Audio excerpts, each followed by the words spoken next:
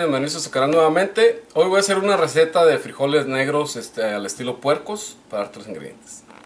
Entonces para nuestros frijoles este, puercos vamos a necesitar un poco de tocino. Son este, tres lonjas de tocino. Esta la puedes sustituir si quieres por tocino de pavo, por si estás a dieta. Eh, chorizo igual. Puede ser chorizo este, de soya o chorizo normal, el que tú gustes, de tu marca preferida un cuarto de cebolla picadita, dos tres dientes de ajo igual en rebanadas, un poco de pasote, ya sea fresco o seco, esto va a ser opcional. Normalmente nosotros en el norte no se lo ponemos, pero como voy a usar un poco de frijoles negros para esta ocasión, le voy a poner un poquito de pasote. Y un poco de sal y pimienta. Y nada más, o sea, no lleva muchos ingredientes, es una receta fácil de preparar, sencilla siempre y cuando tengas los ingredientes que te doy. Y también los puedes sustituir y cambiar por lo que más te guste. Tú puedes ponerle chamorra de puerco si gustas no sé lo que quieras y eso es opcional. Y vamos a necesitar un sartén una, una cacerola o una cazuela para cocinar nuestro tocino y el chorizo. Entonces lo que voy a hacer es calentar mi, mi sartén, mi cazuela.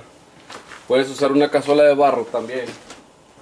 Y este, aquí tengo una cazuela de barro que compré, que la otra se me tronó, me la quebraron. Pero ya tenemos un reemplazo, entonces voy a hacer un video de cómo curarla nuevamente y para usarla. Entonces en esta voy a hacer un conejito para que estén al pendiente. Bueno, entonces ahorita dejamos que se caliente esto y ya regresamos para darte el siguiente paso. Entonces lo que hice fue cambiar mi cacerola por una cazuela de barro y puse a dorar mi tocino. Entonces lo vas a, dorar hasta que esté un poquito crujiente. Luego, este, ya que no tenga mucha grasa, vas a agregar el chorizo también, que se empiece a cocinar. Y no podía faltar su respectivo chilindrín, ya sea jalapeño o serrano, opcional lo quieres poner bien y si no también no pasa nada pero como buen mexicano tiene que llevar su juguito picoso ahí.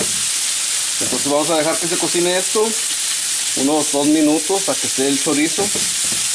Y luego ya vamos a regresar para agregarle la cebolla y el ajo.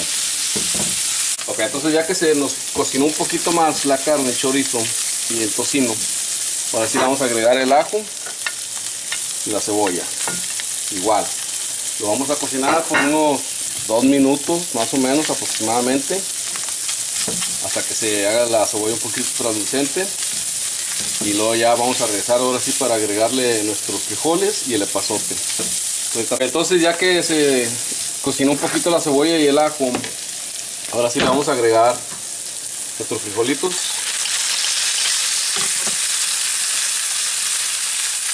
Y también voy a agregar un poquito más de agua o de caldo. Están un poquito secos. También vamos a agregar el epazote, ¿ok? Igual, aquí va a ser la cantidad que le quieras agregar, nada más es poquita, para que no nos quede muy fuerte. Sal no le vamos a poner porque ya tiene la sal del chorizo y la sal del tocino. Pimienta va a ser opcional. Van a decir, no, es que no lleva. Aquí sí lleva. ¿ok? Y ya los vas a dejar que, hiervan un poquito. Y ya después los podemos machacar o servir así enteros este, en bola. Entonces ahorita regresamos ya cuando hiervan y terminamos nuestros frijoles este, puercos. Entonces ya que están así nuestros frijolitos ya que se calentaron entonces ya aquí los vas a ya están listos para servir. Ya estos este los puedes acompañar con lo que tú quieras. Cualquier guarnición Espero les haya gustado esta versión de, los frijoles este, puercos a mi estilo. Los puedes hacer con cualquier tipo de frijol, ya sea pinto, bayo, negro, alubias, es opcional. E, esto lo voy a usar para un desayuno norteño que estoy haciendo de unas migas con chorizo al estilo norteño. Tengo aquí estas migas, ya le voy a agregar el huevo.